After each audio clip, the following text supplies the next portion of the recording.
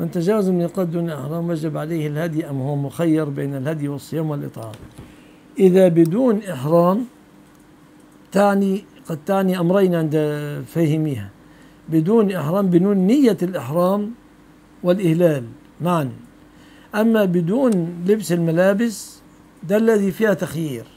ده التي فيها تخيير. أما بدون إهلال بدون إهلال لبيك اللهم لبيك بدون إهلال ولا نية. وبدون نية بدون نية عفوا أعوذ بالله الشيطان الرجيم. تجاوز الميقات بدون إحرام يشمل آه، الإهلال والملابس يشمل الإهلال والملابس عليه دم عند الجمهور عند الجمهور.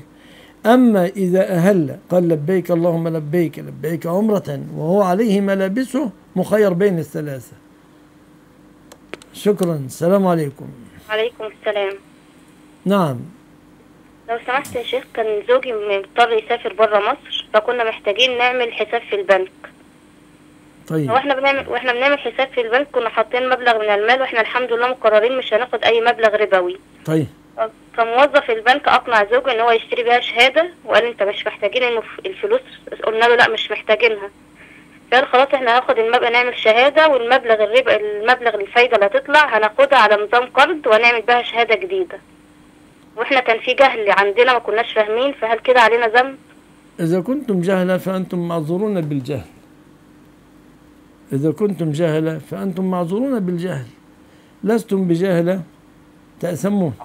احنا- الحمد لله مقررين مش هناخد أي حاجة هنخرجه. من يعني إذا كنتم لن تأخذوا الربا خلاص شكرا لكم شكرا أو تأخذونه أو تخرجونه على سبيل التخلص منه أيضا. جزاك الله خير.